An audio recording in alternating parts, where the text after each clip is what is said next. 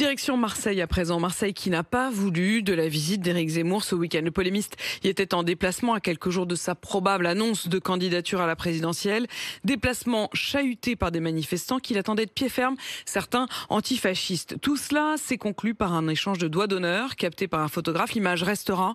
Éric Zemmour a d'abord assumé avant de reconnaître que le geste était, je cite, fort inélégant. Nous sommes retournés à Marseille pour comprendre ce qui s'était passé. C'est le reportage de la rédaction. Il est signé ce matin. Notre correspondant à Marseille, Lionel Dian.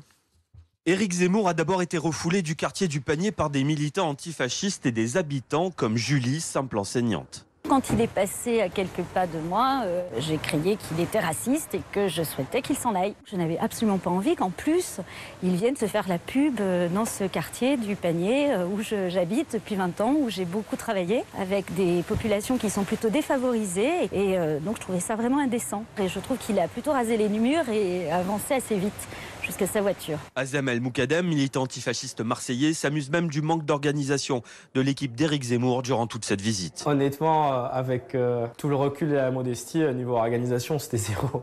Ils savaient pas où aller, ils étaient en retard de partout, ils ont annoncé leur planning publiquement de partout, puis ils ont planifié là-dessus.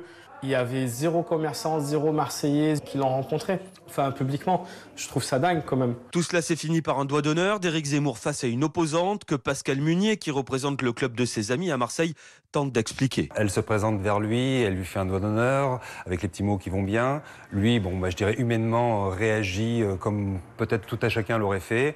Alors après, euh, on peut dire qu'effectivement c'est heureux, malheureux, peu importe. Je dirais, on, voilà, on n'en reste pas moins homme. Je dirais que la campagne n'est pas forcément des plus faciles pour Éric Zemmour. Peut-être un phénomène de fatigue, donc il a réagi spontanément. Les amis d'Éric Zemmour à Marseille qui concèdent quand même des défauts d'organisation à corriger lors de son éventuelle prochaine visite. Et on le sait depuis, euh, Marine Le Pen a même euh, dit au fond qu'Éric Zemmour devrait plutôt abandonner et plutôt que de se présenter, il l'a appelé à le rejoindre.